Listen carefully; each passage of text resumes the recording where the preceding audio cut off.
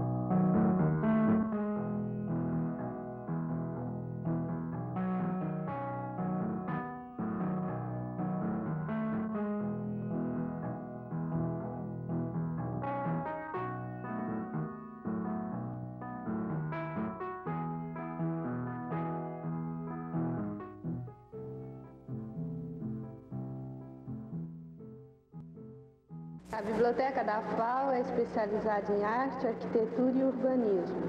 Seu acervo é constituído de materiais bibliográficos, isto é, livros e periódicos e materiais não bibliográficos, tais como diapositivos, fotografias, filmes, mapas e planos. A forma de consulta é de livre acesso, o que facilita a pesquisa dos estudiosos que alguns anos atrás os alunos entravam aqui dispostos a trabalhar, fazer alguma coisa, produzir. Agora, hoje eles entram com vontade de, apenas para bagunçar, eles não trabalham. Eles fazem daqui um clube de campo. Eles não, não têm aquela vontade que os alunos faziam antigamente. Apesar que eles, no, alguns anos atrás, eles também brincavam muito, mas era brincadeira sadia. Dava gosto a gente ver. Hoje é só palhaçada. Eles não vêm aqui com aquele propósito dos que dos que faziam antes.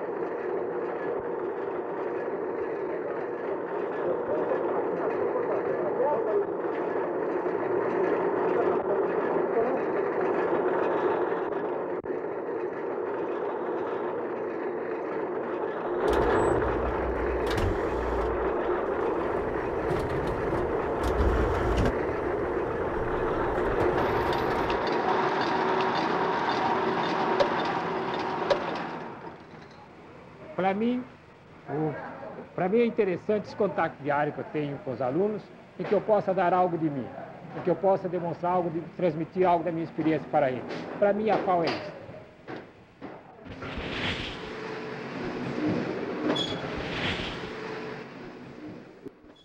O Eduardo e o Cabral, como eu, viveram duas fases da Faculdade de Arquitetura.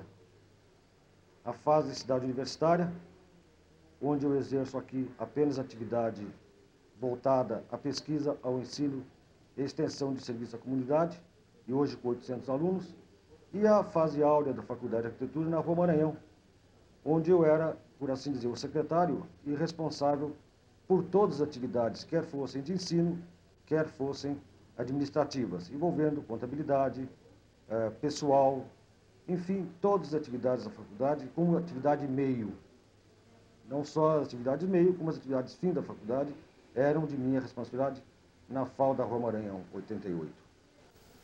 Então, você veja, vou dizer para você o que, que eu pensava quando tive que construir, fazer aquele espaço da FAO potente.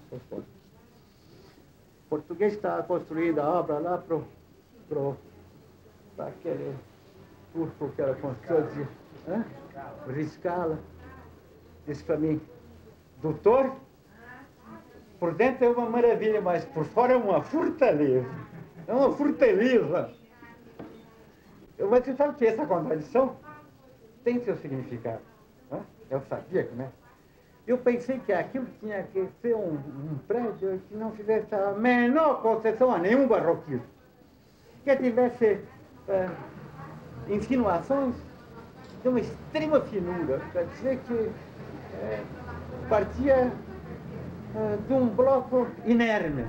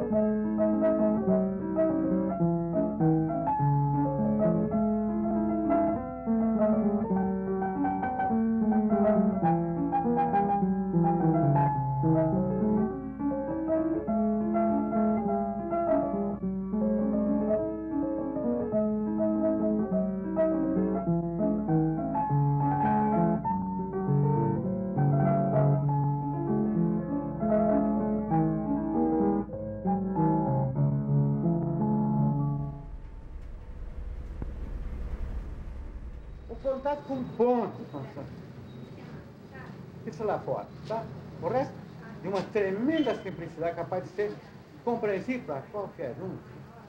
Que não tivesse nenhuma loquacidade necessária. Nenhuma. Nada.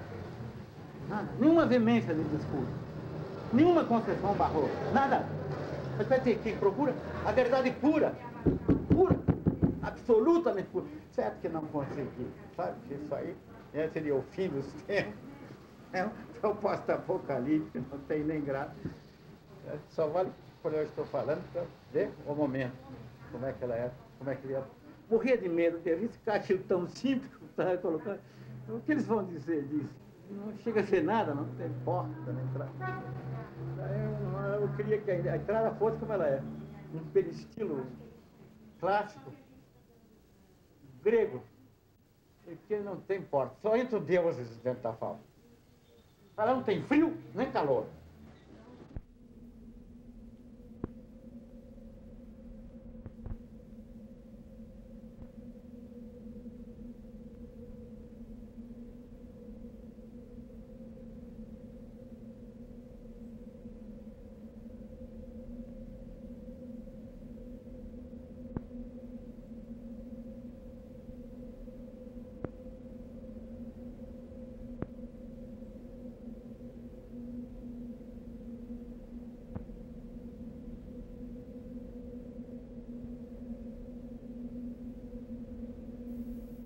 Essa, sobre essa coisa do espaço, em Sandação, uma ocasião nos visitou uma, uma arquiteta polonesa, uma moça muito inteligente, já me lembro mais o nome dela, né? ela ficou meio, assim, é, bouleversada pelas coisas que ela viu lá dentro, e eu fiz uma explicação da coisa para ela, ela ficou tão desarmada, disse, é pela primeira vez, eu conto um arquiteto que capaz de saber o significado da luz, do espaço, da convivência, da como é que se pode projetar um ideal humano para uma estrutura do jeito que você faz. Você dirá que isso aí é, é teorizado. Mas, como qualquer poeta, eu tenho direito de dizer com as imagens que eu bem entender, as coisas secretas que você é, é, coleciona para enfeitar teu espírito, tá certo? E não, nenhum deles vai querer que eu me objetive como arquiteto a ponto de me transformar num engenheiro. Jamais. Né? Isso não.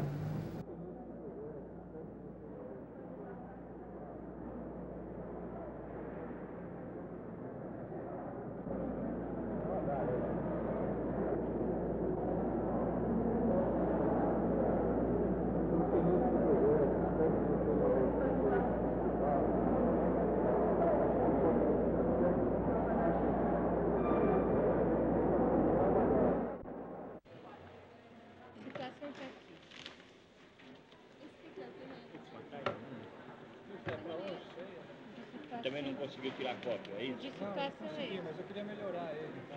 Se quiser ficar mais uma semana, duas, então é bom perguntar para alguém. Ah, não, porque segunda-feira vai ter que comentar. A vantagem de deixar o trabalho de agora é que a gente vai poder uma comentar. semana, uma semana é muito, pode ser até amanhã. Ah, amanhã é perfeito. Amanhã é perfeito. Mas eles, o departamento recebe? Então, tchau. Tchau.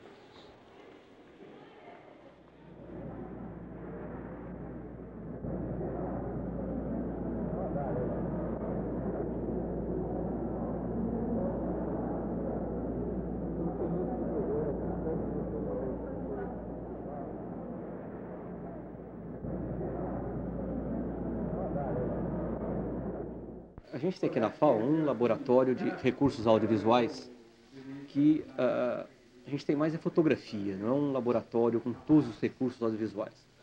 E dentro da fotografia a gente tenta não fazer fotografia de arquitetura, mas através dela aproximar o estudante de arquitetura da realidade urbana, do espaço urbano, do homem da cidade. Ah, numa luta, vamos dizer, ah, muito selvagem, né, de tentar realizar tudo isso, mas a gente encontra pequenas dificuldades. A gente acaba descobrindo, depois de um certo tempo, que a universidade se transformou numa repartição pública, que realmente coloca alguns entraves assim no nosso caminho. Mas eu acho que a gente tenta e vamos conseguir recuperar né, um certo tempo perdido e vamos conseguir realizar alguma coisa. Aí, eu passando da igreja, descendo a ladeira, por aqui, tá? Chega no centro onde tem uns bequinhos. Porque o centro se formou mais ou menos assim. Tem os caminhos básicos, né? Aquelas, os caminhos vicinais. Depois começaram a retalhar o centro com becos para dar acesso. Então o centro é todo urbanizado, completamente urbanizado. Parece que a FAO hoje é sinal de uma grande ambiguidade, que a arquitetura vive, que a própria faculdade vive, e o próprio uso do espaço que a gente tem aqui na faculdade demonstra isso. Essa ambiguidade é fruto de um passado da arquitetura que começa, que passa a ser herança muito mais do que alguma coisa atuante ainda, e um futuro ainda apenas entrevisto. Acho que os meninos que estão aqui do lado, do trabalho que eles estão fazendo, mostram exatamente essa perspectiva do futuro, a possibilidade de se construir essa perspectiva a partir de tudo aquilo que se tem, inclusive se construir a própria faculdade novamente, se reconstruir. Essa reconstrução acho que faz parte de uma reconstrução que não é apenas da faculdade, ela é apenas um elemento numa reconstrução muito maior, que é a reconstrução do país numa perspectiva do seu povo, que sempre existiu e acho que está sendo, deverá ser redescoberto nesse processo. Pelo menos é o que eu espero. Porque Brancos próximo, eles estavam devassados. Ela deu e ela valorizou.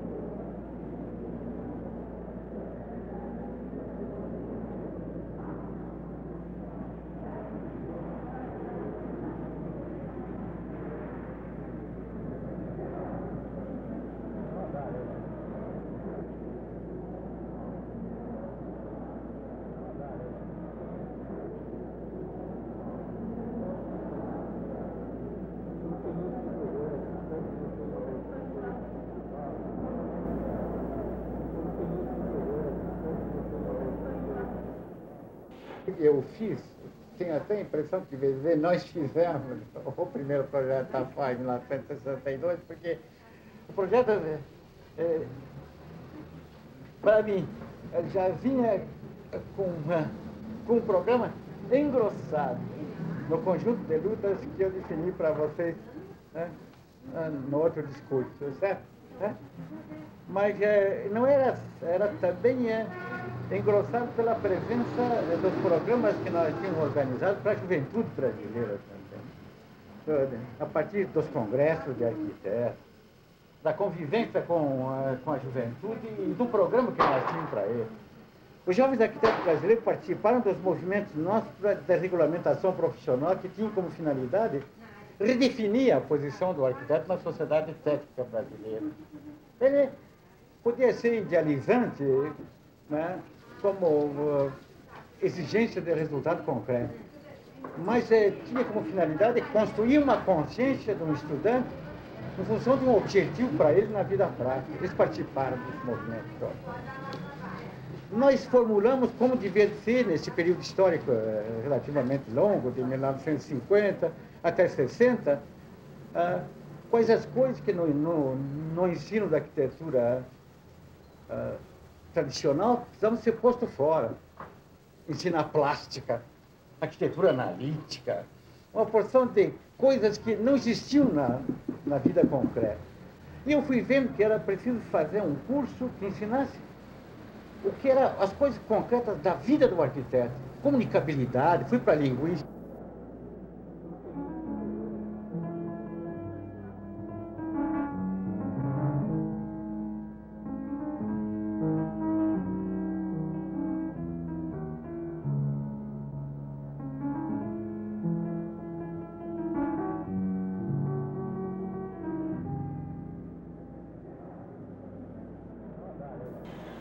Problema do desenho industrial, esse foi, nós introduzimos aqui, é, com muita convicção, porque era saber o valor dos objetos.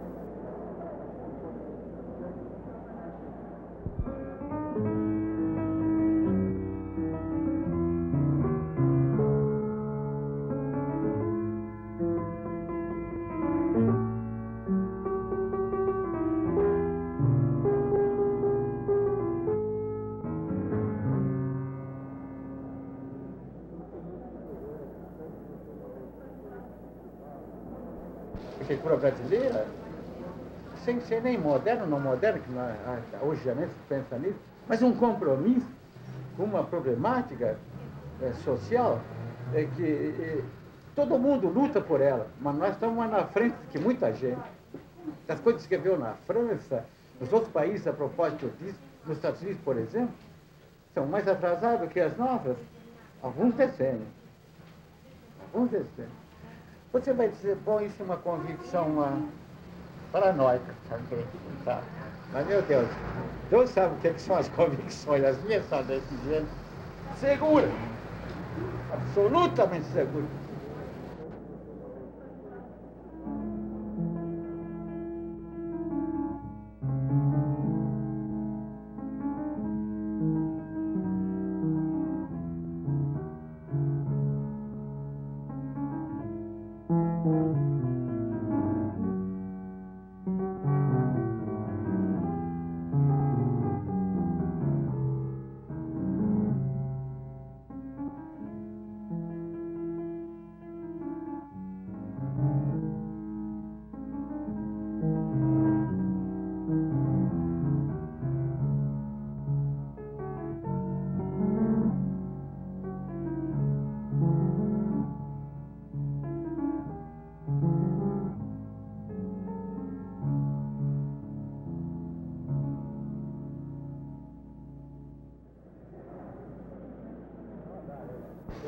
Nós temos que sair da paranoia que a, a política de segurança nacional jogou sobre nós a partir da fundação da FAO, em 1948.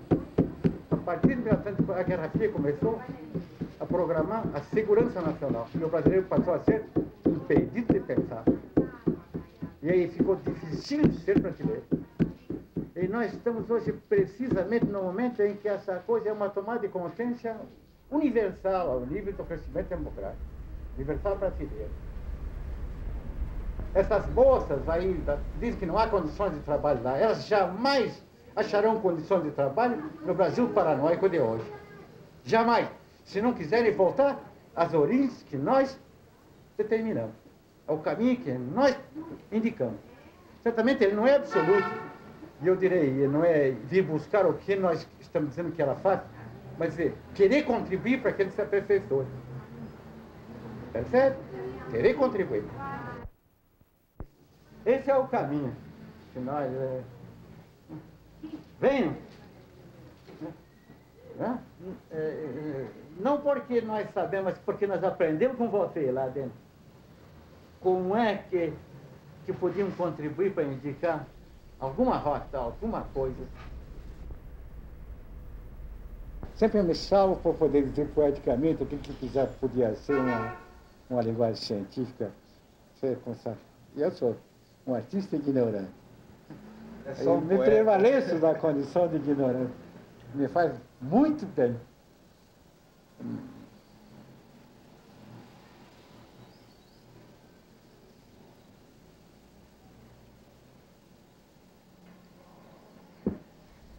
Agora chega, vai.